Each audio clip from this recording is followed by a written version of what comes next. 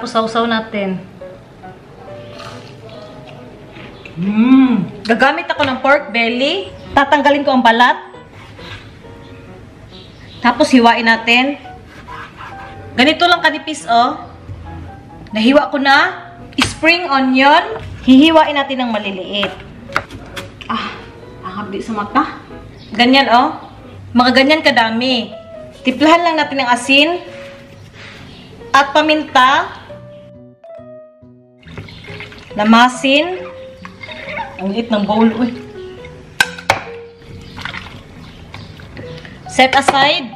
Magpainit na muna tayo ng kawali. Use oil lang in this video.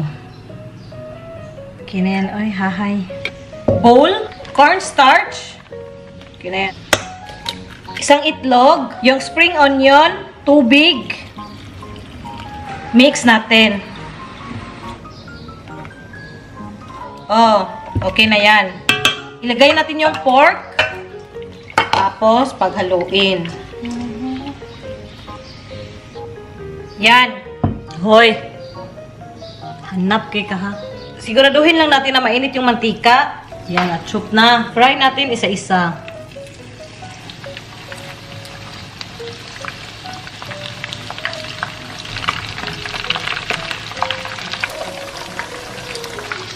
Hanguin na natin. Oh. Lilisan ko lang. Tapos yung second batch. Papahingahin lang natin ng 15 minutes bago natin i-double fry. It's time.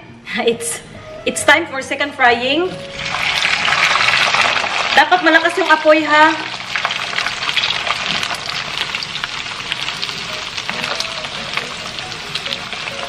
Mga isang minuto lang.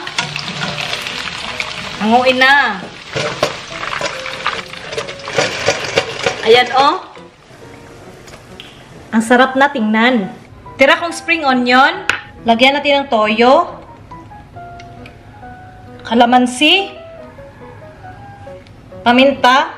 Sa sausawan, lagi nyo lagyan ng asukal para pampabalance ng lasa. Haluin. Chili flakes, optional. Tapos siling labuyo. Crispy pork with spring onion na may sausawan. Ang dami pa oh. Guys, magkakamay ako. Bahala kayo. Tapos sausaw natin. Yan. Mmm. Wow, sarap. Mmm. Mapapakanin ka ng marami nito. Oh, isa pa. Mmm. Sarap. Yun lang guys, no? Sana nagustuhan itong simple recipe ko ng crispy pork with spring onion. Refreshing yung spring onion. Thank you guys for watching! Mmm!